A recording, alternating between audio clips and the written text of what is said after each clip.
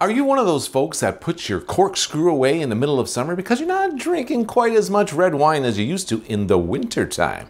Well, we're going to have you drinking red wine all year long. Also, a little home blending experiment, and we're going to be sipping a little bit of local epic wine, country wine. All that on this episode of The Average Wine Enthusiast.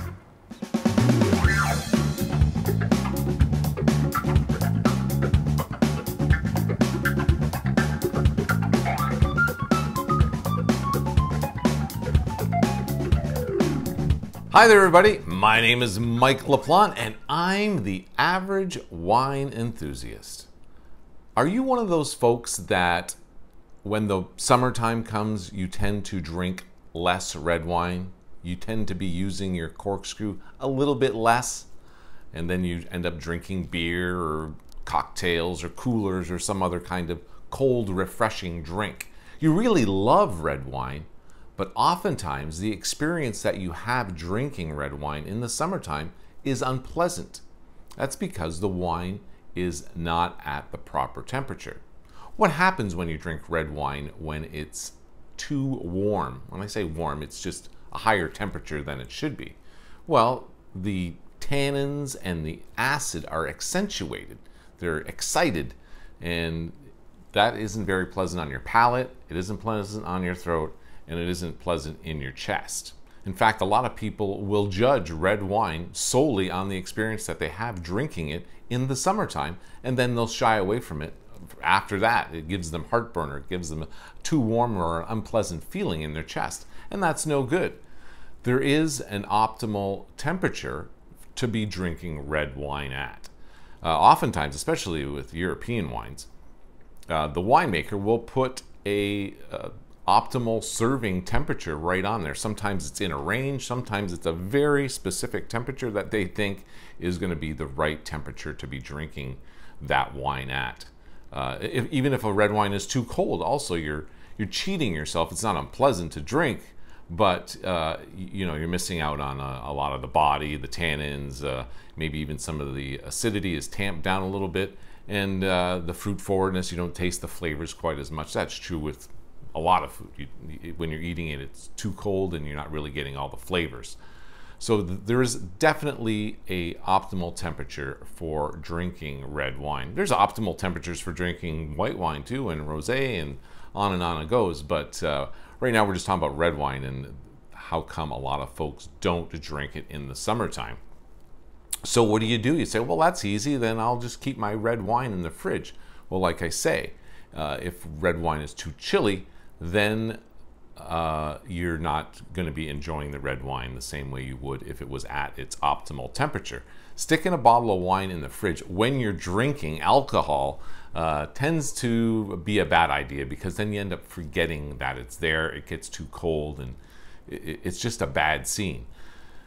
What I have, uh, what I propose for you folks to do to keep drinking red wine all through the year, um, requires you to keep the wine at that optimal temperature.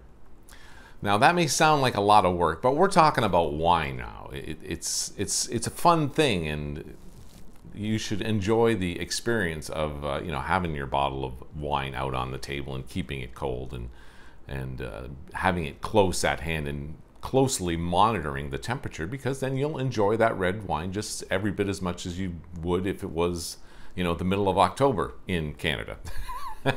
Because I know in October in Northern California, it can get pretty hot.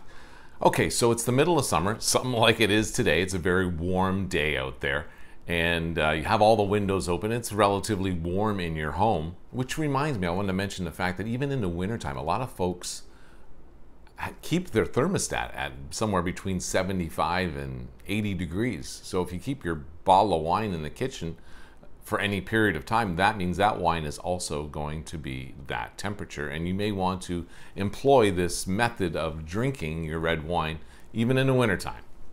What I do typically is just throw my bottle of wine outside the patio door here and it's in plain view and it's close by and and uh, that's my little way of keeping my wine at the optimal temperature.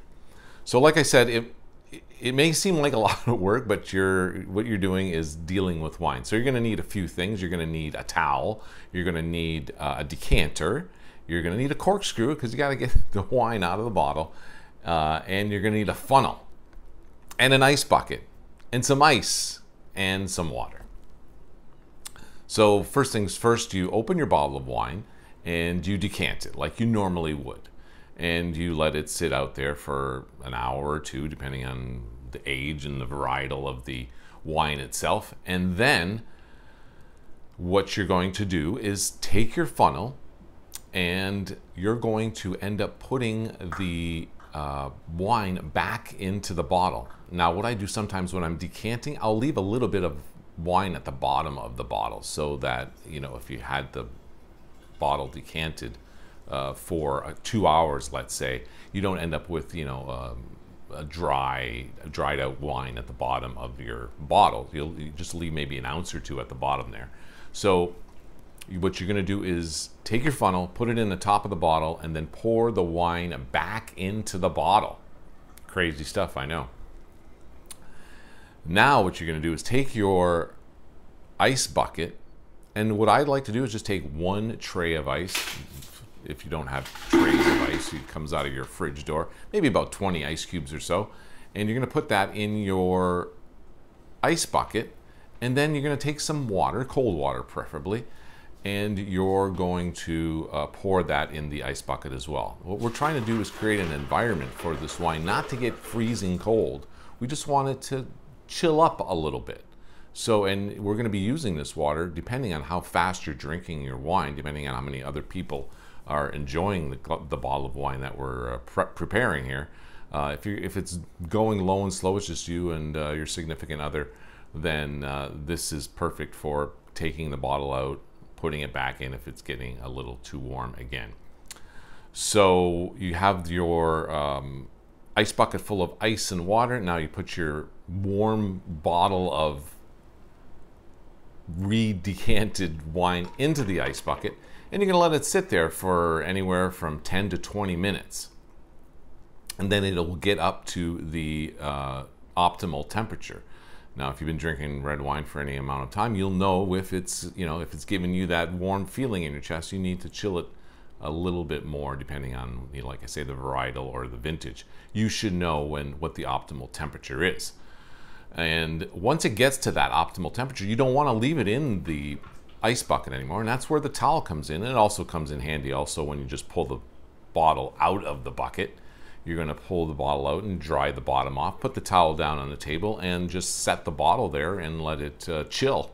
And when I say chill, I don't mean in, uh, decrease in temperature. I mean you're just going to let it sit there uh, until you're ready to pour some more wine now that it has reached that optimal temperature. And then if you have maybe another bottle of wine that you're decanting while you're enjoying that wine, if you have more folks that you're enjoying wine with, you can uh, you know just keep that process going and uh, keep popping your bottles of wine in your ice bucket. And that's a fun way, you know, you have your wine on the table, you have an ice bucket there, which is always, you know, another piece of equipment, something nice that you can have around and, uh, and adds to the ambience of drinking your bottle of wine. Uh, so yes, please keep drinking red wine all summer long because it's uh, it's the right thing to do. So another experience I would like to share with you is uh, I recently opened a bottle of Petite Sirah. It is a varietal that is derived from the Syrah grape. Uh, it's spelled differently though.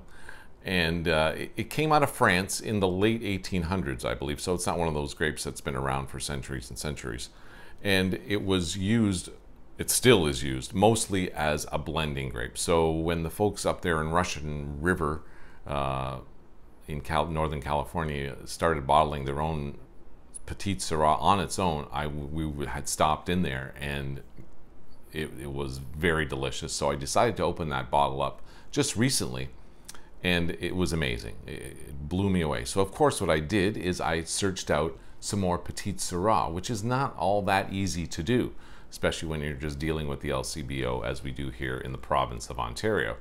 Uh, but I did happen to find a bottle of Granite Hill Cellars out of Lodi, California. Definitely not the Russian River area, but Lodi does produce some decent wines. Uh, they're particularly good with some varietals, and this Petite Sirah was somewhat of a surprise. Definitely nothing like the Russian River uh, Petite Sirah that I had tried earlier. The intensity of the flavors and the body in this was it was too much almost. I drank a glass of it. and it was just like, wow, you can really tell that this, it's like drinking concentrated, really good wine. So I can see why they use Petite Sirah as a blending grape. It has, you know, super fruit forward uh, cherries and lots of vanilla, and it has that really extracted flavor in it. Lots of body and, uh, and lots of just the right amount of acid as well.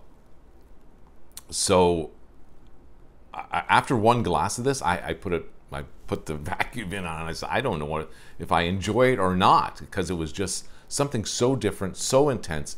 It encompassed everything that I like in a red uh, bottle of wine, but it was just it seemed like too much. So the following night, uh, we ended up opening up this bottle of uh, Sterling Cabernet Sauvignon 2015. And I believe this is also a uh, California wine. Yes, it is uh, California Cabernet Sauvignon. It's one of those bottles of wine that when it goes on sale, we buy a few of it. And we call these cellar savers. So you're not really diving into your really good bottles of wine. You, uh, this would probably be like the second bottle of wine that you would open after you had your really good bottle of wine for dinner or whatever, you'd open up something like this. It's something that you enjoy drinking, and it was on sale when you bought it, so you bought a bunch more so you can save the bottles, the really good bottles, in your cellar. So that's what we ended up doing with the Sterling. So, and it's, like I say, it's somewhat meh, and we didn't drink the whole bottle. In fact, we just barely drank maybe a third of it. So the next night comes around, still have the, uh, the, uh, Petite Sirah all vacuum vinned up. And uh, so I thought to myself, how much better can I make this Cabernet Sauvignon by adding Petite Sirah? Who do I think I am? Some kind of wine blender? Apparently I am, because that's what I did. Uh, the first whack at it, I poured about half a glass of, like maybe four ounces of the Cabernet Sauvignon and about two ounces of the Petite Sirah, and it it was amazing. It was really delicious glass of wine. Made this something else that it was never before. So it really added to the the sterling. You can also look at it the other way and say that the Petite Sirah was diluted by this Cabernet Sauvignon, but I wouldn't go that far. And then the next glass I had, I did half and half, and uh, enjoyed that quite a bit. And so that's what's in here right now is the blended Cabernet Sauvignon with some Petite Sirah.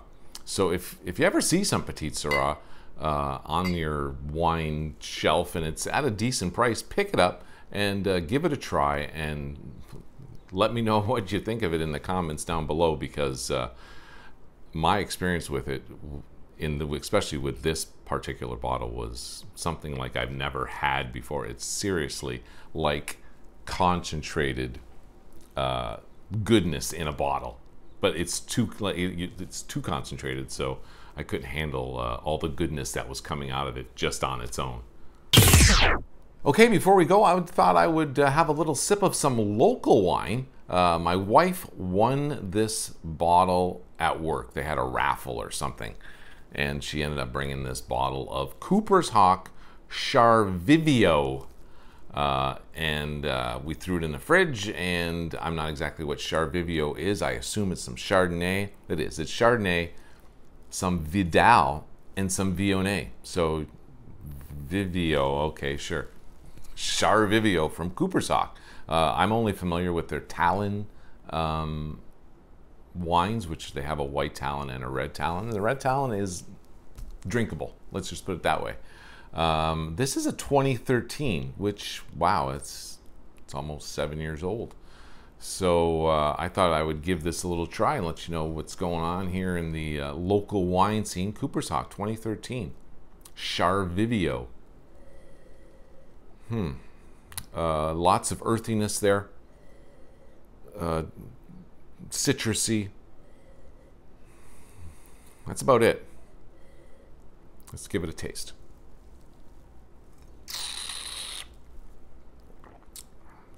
A little bit of grapefruit, some more leafy tarragon or thyme, maybe. Uh, definitely earthy flavor on that. Very crisp. It, probably is really good when it's even colder. I'm thinking it's been sitting here for maybe, uh, I don't know, as long as I've been shooting the show here, about half an hour or so. Um, so it's, I think it'd be a little bit better um, with some more coldness on there because uh, the acid is it's apparent. It's not horrible. Uh, uh, I don't know what else to say about it.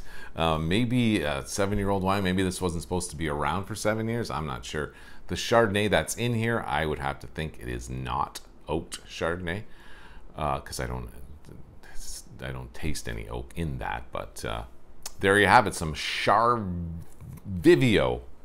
Well, they even let you know how to pronounce it as well. From Cooper's Hawk. So if you're in the area or you're in Ontario, because that's probably the only place you're going to be able to find it is in an LCBO. Um, there it is. Uh, if you if you drink a newer vintage, let me know what you think of it down in the comments below. Uh, I guess that's going to do it for this episode of the show. Thanks a lot for watching. If you know anybody who's digging wine just as much as you are, because you're watching a wine video right now on YouTube, if you know someone who's somewhat like you in terms of wine uh, knowledge, you want to know a little bit more about wine, um, and uh, you think they would dig the show, let them know about it. Share the heck out of this show. Let people know uh, that it exists and I would appreciate it very much. Also, a big thank you to the Big Organ Trio for letting me use their music on this show.